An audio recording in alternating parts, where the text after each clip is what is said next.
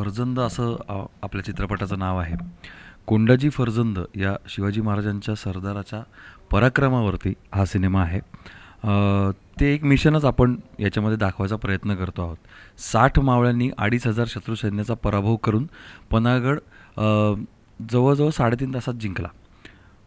ही जगभराच्या इतिहासातली वॉर हिस्ट्रीमधली एकमेव घटना आहे. म्हणजे पुरातन कालापासून अगदी आपण अलेक्झांडरपासून जरी मागे आलो तरी इतक्या कमी रिसोर्सेसमध्ये इतकं मोठं यश मिळवण्याची ही खूप रेअरेस्ट म्हणजे घटना आहे आणि रेअरेस्ट म्हणण्यापेक्षा ही एकमेव घटना आहे.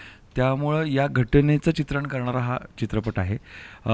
आम्ही याला पहिला मराठी ऐतिहासिक युद्धपट असं म्हणतो आहोत.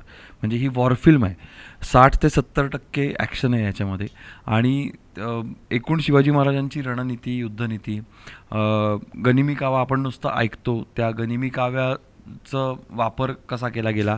आणि सायकोलॉजिकल वॉरफेअर जे शिवाजी महाराजांनी तंत्र विकसित केलं होतं विविध युद्धांमध्ये आपल्याला ते दिसतं त्याचा वापर या युद्धामध्ये कसा केला गेला त्याची तयारी कशी केली गेली या सगळ्यावरती भाष्य करणारा हा चित्रपट आहे.